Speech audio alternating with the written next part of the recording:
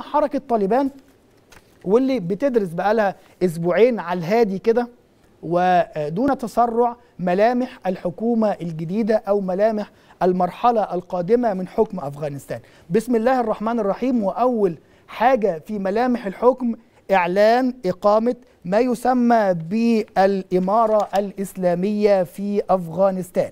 إعلان الإمارة الإسلامية في أفغانستان وده اللي كشفه بعض المتحدثين وبعض قادة حركة طالبان صباح اليوم نقلا عن أحد القادة أنه سيتم خلال الساعات القادمة إعلان حكومة جديدة. واللي هيعلن الحكومة هو السيد القائد الأعلى لطالبان هبة الله زادة واللي موجود بيتشاور في قندهار بقاله أسبوعين. قندهار دي بطبيعة الحال هي مسقط رأس الحركة مع مستشاريه. ومع نائبيه النائب الأول سراج الدين حقاني والنائب الثاني الملا محمد يعقوب. الملا محمد يعقوب ده ابن مؤسس حركة طالبان الملا عمر واللي تم قتله أيضا على يد الجيش الأمريكي.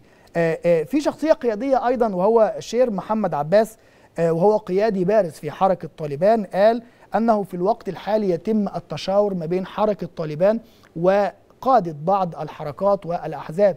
في أفغانستان وتم توكيل الشخصين هما السيد سراج الدين حقاني النائب الأول والسيد الملا محمد يعقوب النائب الثاني بدراسة الأسماء الأخيرة لهذه الحكومة واللي من المتوقع إنها تحتوي على 26 حقيبة وزارية أو 26 فرد والموافقة النهائية هتكون للقائد الأعلى لطالبان هبة الله زادة. ده الملامح الأخيرة لحكومة طالبان وأكد الجميع على أن هذه الحكومة ستكون باسم إمارة أفغانستان الإسلامية.